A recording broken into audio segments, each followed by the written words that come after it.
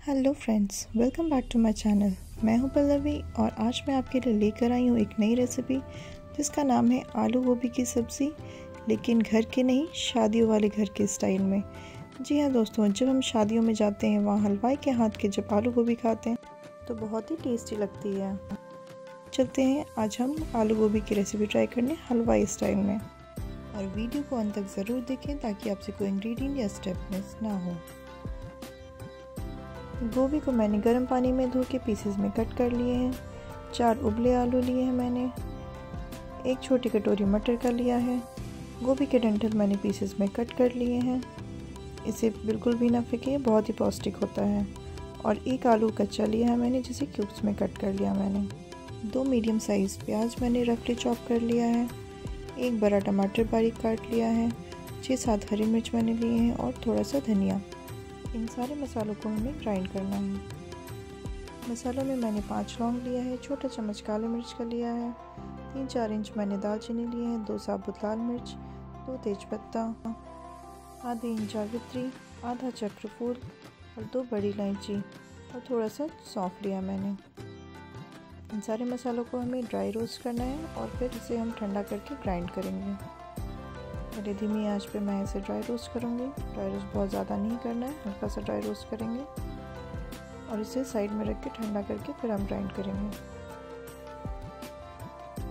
इधर कढ़ाई में मैंने तेल गरम कर लिया है, इसमें हम गोभी फ्राई कर लेंगे। गोभी जब अच्छे से भुन जाए, जब हल्का सुनहरा होने लगे, फिर हम इसमें डंठल ऐड करेंगे। और डंठल और गोभी को अच्छे से फिर भून लेंगे। जब ये अच्छे से भुन जाए, फिर हम इसे साइड रखेंगे और हम ग्रेवी का मसाले को पहले पीस लेंगे। सबसे पहले मैंने धनिया डाला है उसके बाद हरी मिर्च, टमाटर और प्याज डाल के हम इसे अच्छे से ग्राइंड कर लेना है। मैंने कढ़ाई लिया है, उसमें तेल डाला है मैंने, एक चम्मच जीरा डाला है, दो तेज पत्ता तोड़ के डाल दिया है मैंने। इसके बाद मैं दो चम्मच लहसुन अदरक का पेस्ट ऐड करूँगी। धीरे धीरे हम इसे हल्का सा भून लेंगे। जब थोड़ा भुन जाए, फिर हम इसमें प्याज का पेस्ट ऐड करेंगे। अब इसे भी थोड़ा सा भून लेंगे हम। जब ये हल्का भुन जाए, फिर हम इसमें मसाले ऐड करेंगे। मैंने दो चम्मच हल्दी डाली है, डेढ़ चम्मच लाल मिर्च डाला है। एक से डेढ़ चम्मच धनिया पाउडर डालेंगे। एक चम्मच जीरा पाउडर। एक चम्मच गरम मसाला और आधा चम्मच मैंने सब्ज़ी मसाला ऐड किया है। अब इसे अच्छे से मिक्स करके भून लेंगे हम।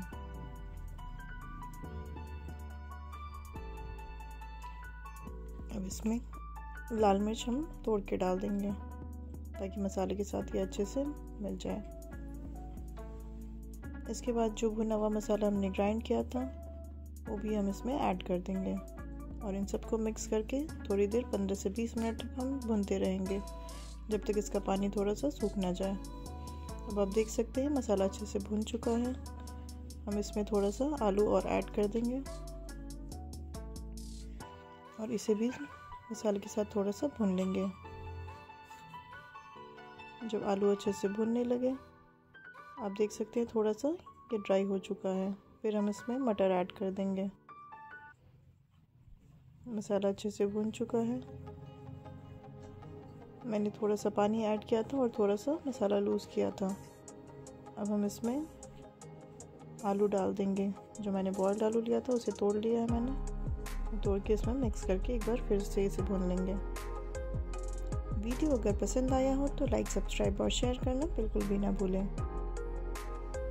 इसके बाद मैं इसमें भुने हुए गोभी और डंठल ऐड कर दूँगी।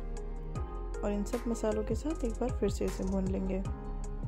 मसाला और गोभी सब साथ में आप जितना भुनेंगे, सब्ज़ी उतनी ही टेस्टी बनेगी। अब हम इसमें नमक ऐड करेंगे। नमक नमक आप अपने टेस्ट के अकॉर्डिंग ऐड कर सकते हैं। आप देख सकते हैं अच्छे से भुन चुका है। अब हम इसमें पानी ऐड करेंगे। पानी मैंने गर्म ऐड किया है। जब भी आप पानी ऐड करें तो कोशिश करें गर्म पानी ऐड करने का। ठंडे पानी से टेस्ट ख़राब हो सकता है और सब्ज़ी अच्छी नहीं बनती है। मैंने पानी डाल दिया है, अब इसे थोड़ी देर हम ढक के पकाएँगे ताकि गोभी और डंडल अच्छे से पक जाए।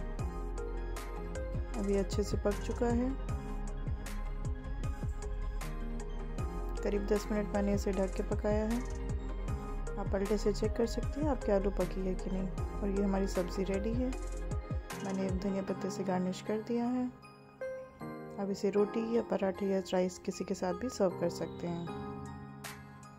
ये देखिए सब्ज़ी कितनी अच्छी लग रही है और बहुत ही टेस्टी बनी है। जब भी गेस्ट आए तो आप इस तरह से एक बार बना के ज़रूर खिलाएँ उन्हें। Thanks for watching